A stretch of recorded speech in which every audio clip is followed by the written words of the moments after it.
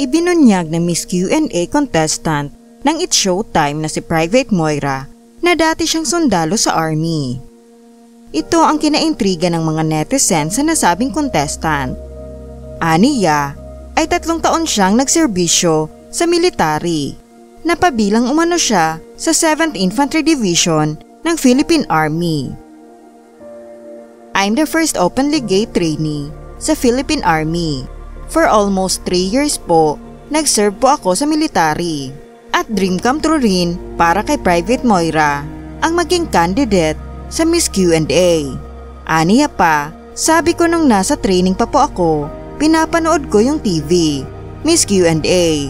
And habang naka-duty po ako sa kampo, sabi ko, kailan kaya ako makakasali dyan?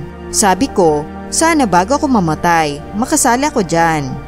Umalis na sa serbisyo si Private Moira at isa na ngayong sibilyan at nais niyang tuparin ang kanyang pangarap sa buhay.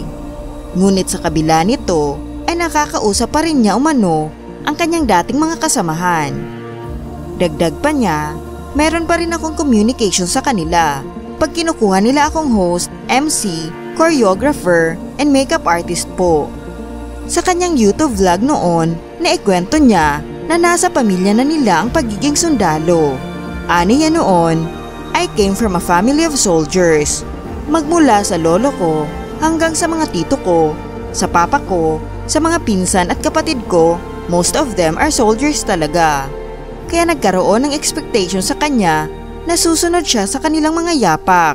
Pero sa murang edad, alam na raw niya na may iba sa kanya. Aniya, bata pa lang ako, sobrang lambot ko talaga. Pinalaki raw siya ng ina sa salo ng sex bomb dancers at Viva Hot Babes. Pero sinikap niyang tuklasin ang sarili.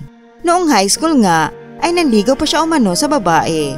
Kahit pa may nararamdaman siyang atraksyon sa mga lalaki. Kwento niya, As time goes by, mas naramdaman ko talaga na mas lamang ang pusong pagkababae ko. Mas naging komportable si Private Moira sa kanyang sexual identity pagdating ng kolehiyo at nagsuot ng damit pambabae na walang permiso ng ama. Aminado siyang napagbuhatan siya ng kamay ng ama. Taong 2016, nasawi ang kanyang sundalong kapatid. Dinamdam ito ni Private Moira. Aniya, hindi kasi madali sa akin ang mawala ng kuya dahil isa siya sa mga inspirasyon ko para lumaban sa buhay. Nagbitaw si Private Moira ng pangako sa kanyang kuya na ipagpapatuloy ang sinimulang tungkulin na maglingkod sa bayan. Dito na niya pinasok ang pagiging sundalo. Nagpapasalamat umano siya na tinanggap siya sapagkat marami siyang natutunan sa pagsusundalo. Ang maging matapang, maging disiplinado, at maging matulungin sa kapwa. Dagdag pa niya, ang sarap maging sundalo, hindi dahil sa sahod, para i-prove sa sarili ko at i-prove sa ibang tao na hindi lang lalaki ang kayang maging sundalo. Maski ang mga babae, marami na po mga babae ang nagsusundalo ngayon para makapaglingkod sa bayan. Kaya rin naming mga beke.